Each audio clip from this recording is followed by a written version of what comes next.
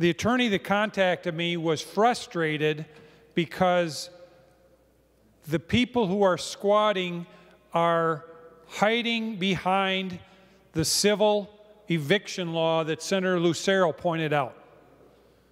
And so that is, is a large part of where the problem is. And as I look at our trespass statutes, which the attorney said, well, we, my clients would simply like to lock the door and lock them out if they're not there legally, if they don't have a lease, if they don't have permission to be there, etc.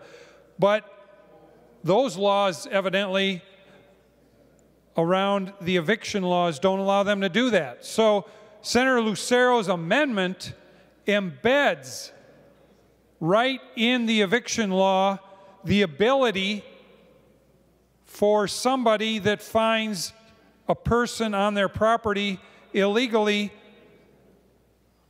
to be removed for trespass. Now, so the conditions are outlined in the amendment on 1.15 through 1.1 or 1.20, and I'll read them to you.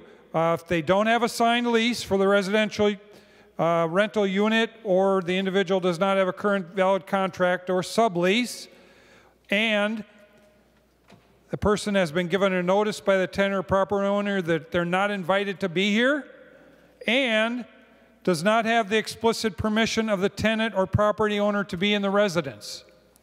So it's not a visitor of the tenant. The tenant didn't give them permission to be there. The, the property owner didn't give them permission to be there. And they don't have a lease. They don't have a legal reason to be there. This amendment says specifically within that convoluted eviction law that if those conditions are met, then members, Mr. President, then the sheriff or law enforcement can remove that person using our trespass law, which, and without the conditions that are outlined in the trespass law, Mr. President, the trespass law, if you go to 609.605, says uh, that you have to put up a sign at least 8.5 by 11 inches in a conspicuous place on the exterior of the building, um, and some other conditions that you have to have.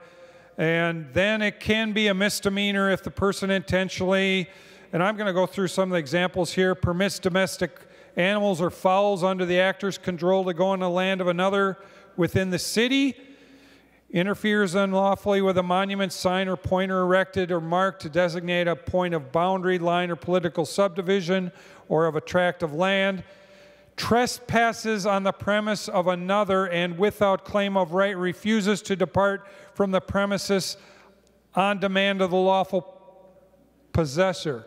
So, Mr. President, it is there in our trespass law, but there's a bunch of, of conditions that are laid out on top of it that seem to be a deterrent to our law enforcement and certainly our, our prosecutors who aren't prosecuting anyway uh, in some of our counties in Minnesota. Um, but it's a deterrent to the process for the legal landowner of that property. The property owner with the right to that property cannot remove them because of these obstructions in law that we have placed there. Um, and there's there's some other ones in here. Enters a premises of another with intent to take or injure any fruit, fruit trees, or vegetables. So if they're going to take fruit or fruit trees or vegetables, uh, they have the same uh, level of rights uh, to protecting their property as somebody whose house is broken into in this state. As a matter of fact, Mr. President, that same statute under subdivision 2 uh, offers a higher level of punishment, a gross misdemeanor for several conditions. Somebody who uh, uh, somebody who trespasses on a property that provides services for sex traffic, sex trafficking victims, uh, a facility providing transitional housing for battered women and their children. Uh, another condition uh, that that uh, is covered by the gross misdemeanor is somebody who trespasses on school property.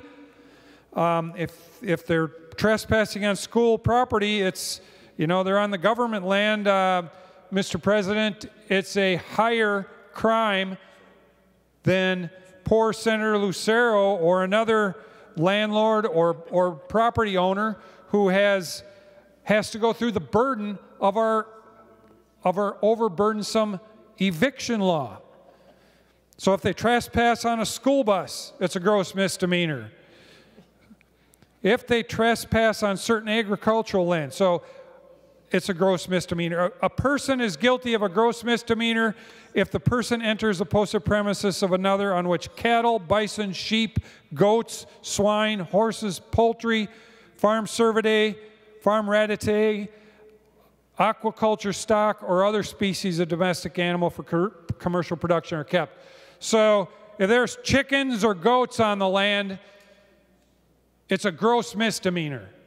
But Senator Lucero's got somebody in their house illegally and he can't get them out because our eviction law is so much written to prevent him from protecting his own property that he can't do it. And so, Mr. President, members, what Senator Lucero's amendment does is it writes right into the eviction law Senator Lucero, you can go right to 609.605, and if these three conditions are met, you can lock the door and ask the person to leave, and they can't be suing you or doing whatever else is currently allowed under the very cumbersome eviction laws in the state of Minnesota. Members, vote yes, vote green, vote for property rights, vote for the rights of the person who toiled many, many days and weeks and months and years of their life to achieve what they achieved, however small or large it is. Vote for the rights of that person to protect their property from somebody who wants to come in and simply take it from them. Thank you, Mr. President.